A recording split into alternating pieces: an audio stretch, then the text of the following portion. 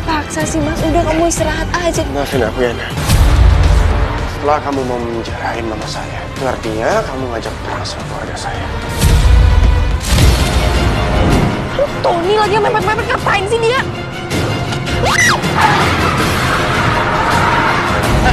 Kalian ngapain sih?